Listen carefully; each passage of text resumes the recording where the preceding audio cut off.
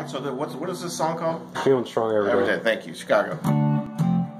So uh, uh, we got three hits basically. So we got D major. So we got five on the fifth string, seven, seven, seven, skipping over the outer two strings, and then F, big old fat uh, bar chord. You know that chord thing. One, three, three, two, one, one, and then G, same chord, just move it over a whole step. So you got D,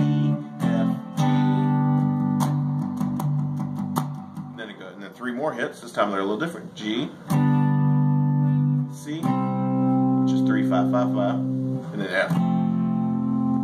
So it's one, two, one, two, three, four, five, six, one, two, three, four, five, six, one, two, three, four, five, six, one, two, three, four, and then and then the keyboard fill That little deal. So there's your little fill fill right there.